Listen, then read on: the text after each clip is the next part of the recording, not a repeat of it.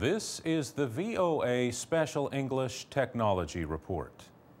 The Obama administration has announced a plan to protect Internet users in the United States.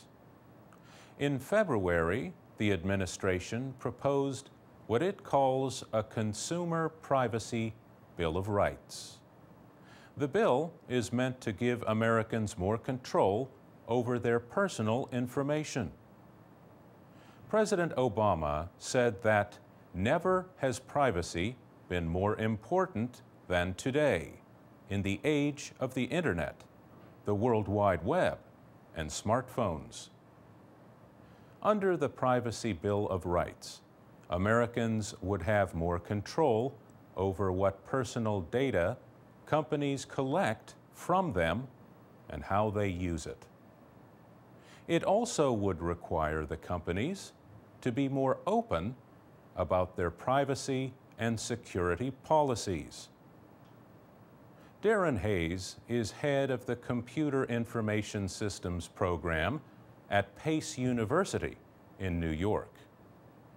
He says many countries in Europe and Asia already have online privacy laws in place. He called the proposed legislation in the United States long overdue and a step in the right direction. I think that in its present form, it looks very effective. The average online user does need more transparency and more control over the use of their information. Professor Hayes says the Consumer Privacy Bill of Rights would hold companies like Facebook and Google to a higher level of responsibility I think in practical terms, it's going to make online companies more accountable for what they do. It also seeks to provide more transparency about how third parties are sharing their information and give the user, hopefully, the ability to opt out of having their information shared. The new measures are part of a larger government effort to improve online privacy. The administration has urged Congress to pass legislation in support of the measures.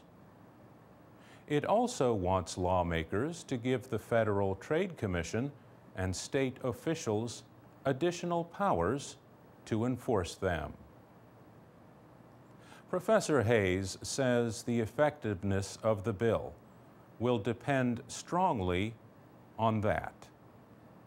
In a related development, a group of companies that make internet browsers agreed to support plans for adding do not track technology to their browsers. The group agreed not to use tracking information to target personalized ads to users who do not wish to be identified. The companies will, however, still collect the information. For VOA Special English, I'm Mario Ritter. You can find more stories about privacy and technology at voaspecialenglish.com www.thebrightlight.com.